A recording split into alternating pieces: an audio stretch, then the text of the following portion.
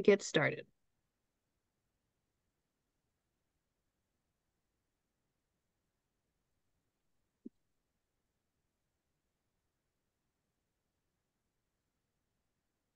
Okay, so what are the related services? Well, in IDEA section 300, in general, the related services are means transportation, such as developmental, corrective, and other supportive services that are required to assist a child with a disability to benefit from special education. And include speech language pathology, audiology services, interpreting services, psychological services, physical, occupational therapy, recreation, including therapeutic recreation, early identification and assessment of disabilities in children, counseling services, including rehabilitation counseling, orientation and mobility services, and medical services for diagnostic or evaluation purposes.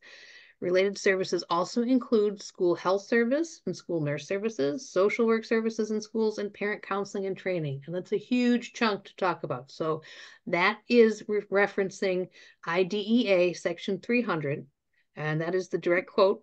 Um, what we're going to be looking at in the IEP is section six, labeled special education related services, supplementary aids and services, and program modifications. That's a lot to take in. This is going to be breaking all of that down. Okay, but essentially, um, related services are anything that uh, can assist your child in being able to access the general education or a free and appropriate public education um, as indicated in the law.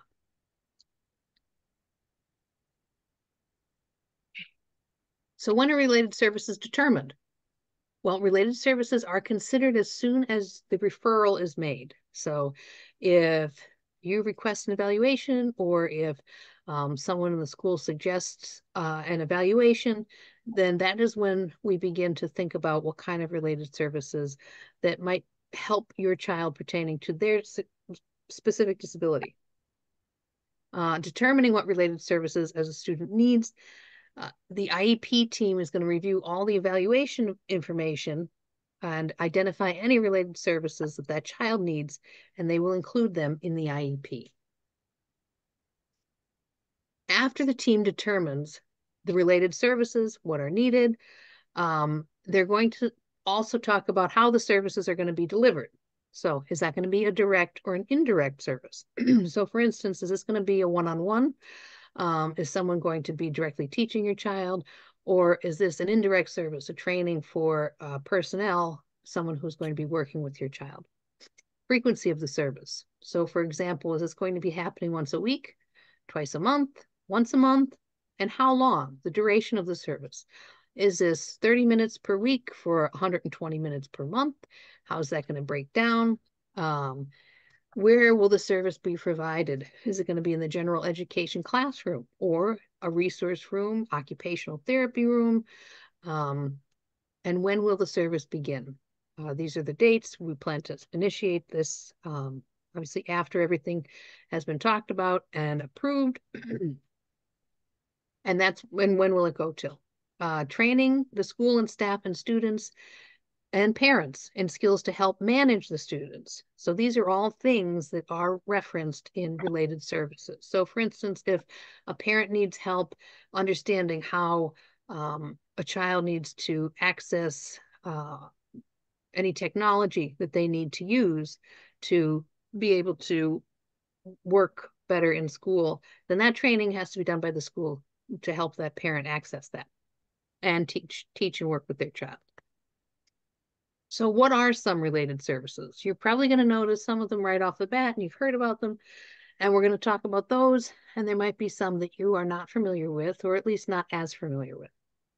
So for instance, speech language pathology and audiology services, interpreting services, psychological services, physical and occupational therapy, recreation, including therapeutic recreation, early identification and assessment of disabilities in children, counseling services, including rehabilitation counseling, orientation and mobility services, medical services for diagnostic evaluation purposes, school health services, school nurse services, social work services, transportation, parent counseling, and training. Um, these are all very important, and it's not an exhaustive list. Because you have to remember that we're looking at services that are going to help your child to access uh, the general education learning or learning in general.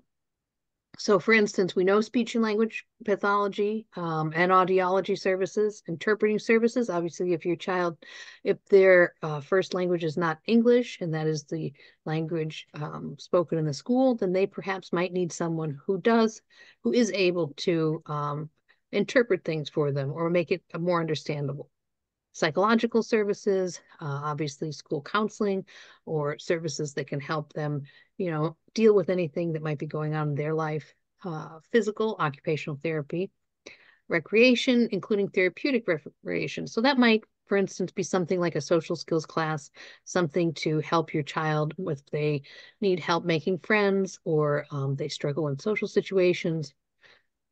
Early identification and assessment, that's child find. So for instance, like we talked about when they are trying to find related services, that begins as early as uh, referral. Counseling services, including rehabilitation counseling. So, OVR, for instance, might be brought in uh, for a transition to help someone with, you know, sort of access uh, career training, things like that. Uh, orientation and mobility services help child to sort of access their surroundings, um, have the ability to get around and feel successful in the school setting, medical service for diagnostic or evaluation purposes, school health services, school nurse services. We know a lot of those. Uh, social work in schools, if there are things that the family's dealing with or the child's dealing with, then they need someone to sort of help with other things outside of the school. Uh, transportation, how is that child going to get to the school if there is no way for them to get to the school? Do they need um, help in accessing the bus? Do they need um, perhaps a van to come out to their home? Uh, parent and counseling training. And this is something I think a lot of people don't know or um, it's not talked about a lot. Where if there is something that you feel you might need training in to better help your child uh, do their best in school, a good example is ABA. You know, a lot of parents, their children receive ABA uh, in school uh, by a contracted service or in the school, and maybe learning how to um, use ABA in the home can help that child do better in school by keeping that consistent. So that might be a training that they would uh, benefit from. There are services that are not included. And uh, as of 2004, IDEA, IDEA had to sort of make that clear. So, for instance, surgical devices that are such as cochlear implants, pacemakers, insulin pumps, and other surgically implanted medical devices. They are not uh, services that are included for related services. The school is required to routinely check to see if it's working. So, if perhaps um, you have a hearing aid or and you are having a hard time hearing, uh, they might need to bring that up to the parent and let them know that might be something to look into. So they're just sort of they might need to see if, for instance, a hearing aid might need batteries, or if it's something that something's going on that you might need to check with your doctor. Some services we might be more familiar with, like we talked about, our speech language therapy, um, used to address receptive and expressive language, assist with pronunciation, functional language, so um, conversational? Is their language being used appropriately? Are they able to man for things that they need? Helping a child communicate more effectively? Are they being understood when they're speaking to someone? Are they able to understand when someone's speaking to them? Occupational therapy helps a child to navigate their everyday activities, become more independent. Um, they might focus on helping with sensory sensitivity. A lot of children deal with that in school, uh, strengthening some of their fine motor skills to help with handwriting. They might provide alternatives or um, something to help sensory seekers to prevent them from having issues during the school day. Physical therapy can help strengthen child's gross motor skills, their core strength, their stamina, flexibility, increase movement, um, this is psychological services. I'm that's a typo. Counseling can help a child learn coping skills, increase positive behaviors, and decrease negative behaviors. And transportation, as we had just said, help a child to get to and from school in this in a safe way. Uh, that's also a job of related service.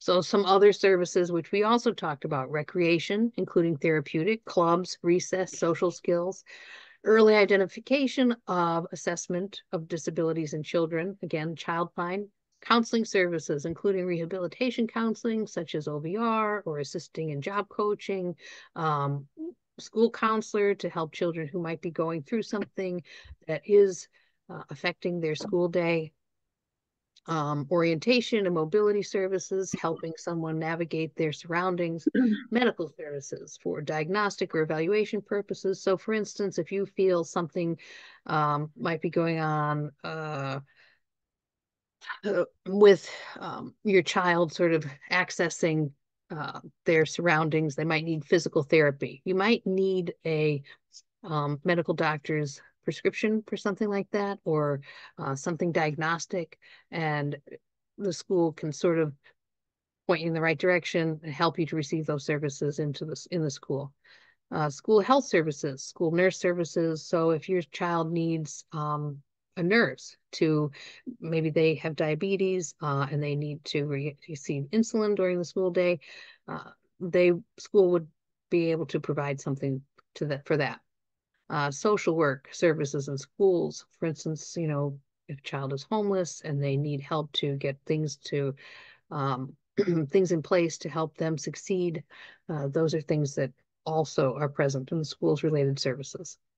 And parent counseling and training, as we had said before, um, that's for if you feel that there's something that your child's receiving in the school re related to anything regarding perhaps their um, a device that they've begun using to help them communicate. If the parent needs training in how to use that, uh, that's something the school can provide. If they need training, perhaps in learning how to um, use ABA at home so that it's more successful in the school and at home, um, then school can provide that as well. Okay, so um, now we're going to take questions. Um, we'll stop the recording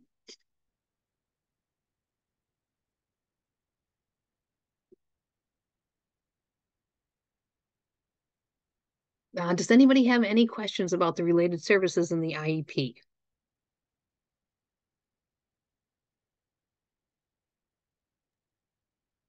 There was a lot of stuff, and I talk very fast sometimes. so um, if